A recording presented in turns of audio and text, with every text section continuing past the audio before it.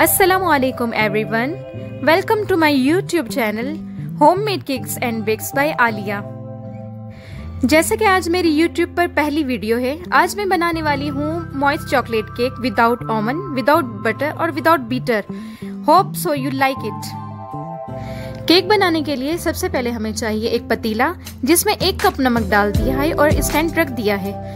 और इसको medium flame पर 15 मिनट्स प्री हीट करना है। इस केक के इंग्रेडिएंट्स बहुत इजी हैं, जिसे आप आसानी से अपने घर में बना सकते हैं। हमें चाहिए 210 ग्राम्स पाउडर शुगर 210 ग्राम्स मैदा 6 tablespoon cocoa powder half cup milk जिसमें हमने one table spoon vanilla essence already add कर लिया है half cup boiling hot water जिसमें हमने one table spoon instant coffee powder add कर लिया है। एक अंडा जो होगा रूम टेम्परेचर पर half table spoon baking powder half table spoon baking soda 80 M oil यहाँ हमने लिया है 8 बाई 8 का मोल्ड जिसे हमने ऑयल से ग्रीस कर लिया है और बटर पेपर लगा दिया है। हमने बाउल में मिल्क, वेनिला एसेंस और ऑयल डाल दिया है। अब अंडा डालकर अच्छे तरीके से हैंड विग से बीट कर लेना है कि यहाँ तक कि मिक्सचर यकजा हो जाए।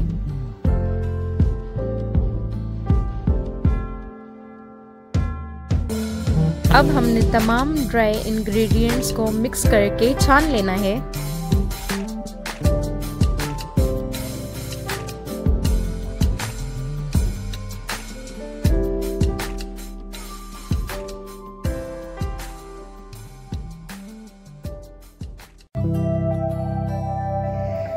जो हमने पहले मिक्सचर तैयार किया था, उसमें अपने ड्राई इंग्रेडिएंट्स को मिक्स कर लेंगे, इतना कि वो अच्छे से मिक्स हो जाएँ।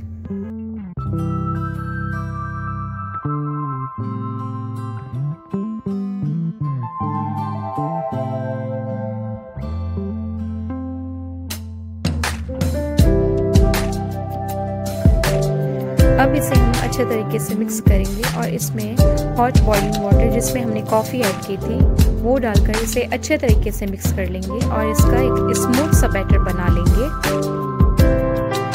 अब आप देख सकते हैं इसकी कंसिस्टेंसी ना ज़्यादा गाढ़ा हो और ना ही ज़्यादा रनी हो। स्मूथ सा बैटर होना चाहिए बिल्कुल। अब इसे हम अपने पैन में शिफ्ट कर लेंगे।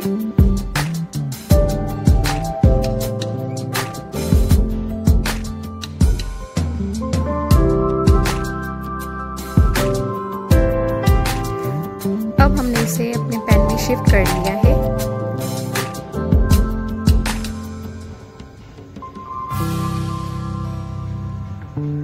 और इसे हम करेंगे टैप और इसके तमाम एयर बबल्स रिमूव कर देंगे।